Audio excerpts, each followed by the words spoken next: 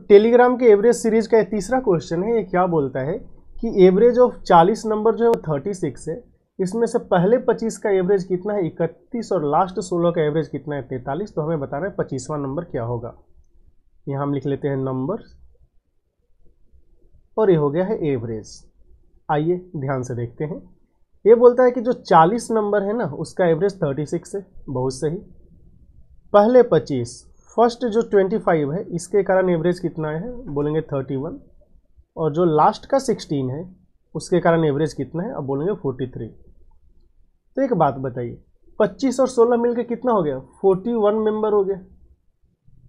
लेकिन क्या ग्रुप में अपने पास 41 मेंबर है? बोलेंगे नहीं, ग्रुप में तो 40 ही है। एक एक्स्ट्रा क्यों आया? तो एक एक्स्ट्रा इसलिए आया है क्योंकि जब आप इन दोनों को ऐड करेंगे तो one two three dot dot dot करके चालीस मेंबर तो आएगा, फोर्टी का फोर्टी आएगा। प्लस में एक एक्स्ट्रा मेंबर आएगा जो होगा आपका क्या ट्वेंटी फिफ्थ मेंबर तो क्या हम बोल सकते हैं ट्वेंटी फिफ्थ मेंबर को दो बार काउंट किया? या फिर हम ऐसा बोल सकते हैं कि पूरा का पूरा ग्रुप कंप्लीट है, उसमें से एक एक्स्ट्रा मेंबर का एंट्री हुआ है जो कि है twenty fifth number extra member का एंट्री हुआ है। तो जिस मेंबर का एंट्री हुआ है, इसके कारण हमें देखना है क्या क्या चेंजेस होता है।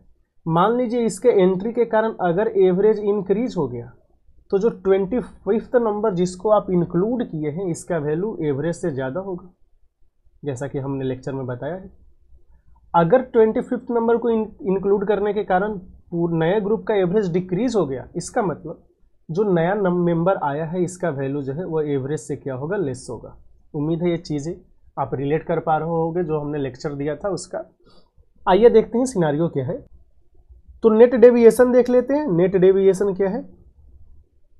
ग्रुप का डेविएशन से ही तो आइडिया लगेगा कि नया मेंबर जो आया है, उसने क्या कांड किया है।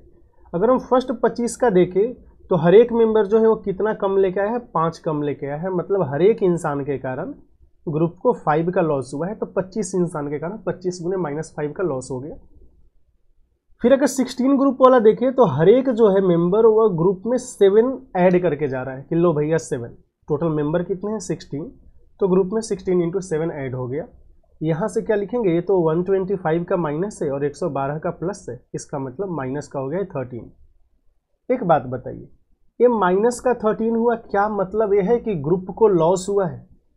ग्रुप को लॉस हुआ है एक नए मेंबर को इंक्लूड करने के कारण। इसका मतलब नया मेंबर जो आया है वह एवरेज से कम वैल्यू लेके आया है, तभी तो लॉस हुआ है। तो जो नया मेंबर है, यही ट्वेंटी फिफ्थ नंबर था ना? तो ये ट्वेंटी फिफ्थ नंबर कितना होगा? एक्चुअल में कुछ कांड ना होता तो इसका वैल्यू थर्टी सिक्स होता। लेकिन ये अपने कारण ग्रुप को थर्टीन यूनिट्स का लॉस करा दिया। तो थर्टीन जो है, ये कम लेके आया होगा, क्योंकि यही एक एक्स्ट्रा एंट्री है। जो भी लॉस या गेन होता, इसी के कारण होता। तो आंसर कितना आ गया है? ट्वेंटी थ्री तो जो ट्वेंटी फिफ्थ नंबर है, उसका वैल्यू कितना हो गया है? ट्वेंटी थ्री जो कि है ऑप्शन नंबर वन तो उम्मीद है यहाँ पे आपको ये डाउट नहीं होता होगा किस केस में ऐड करना है, किस केस में प्लस करना है। आप लेक्चर देखिए, उसमें हमने बताया है। अगर आप ग्रुप में इंक्लूड किया हमने, और इंक्लूड करने के कारण एवरेज इंक्रीज हुआ है तो जो वैल्यू है, उसका नंबर जो है, या उसका वैल्यू जो आपने इंक्लूड किया, उसका वैल्यू एवरेज से ज़्यादा होगा। एवरेज से ज़्यादा लेके आएगा, तभी तो ग्रुप को फ़ायदा होगा। इंक्लूड करने के कारण अगर एवरेज डिक्रीज हो गया तो जो भी आपने इंक्लूड किया, उसका वैल्यू एवरेज से कम होना चाहिए। क्योंकि एवरेज से कम होगा, तभी तो ग्रुप को लॉस होगा।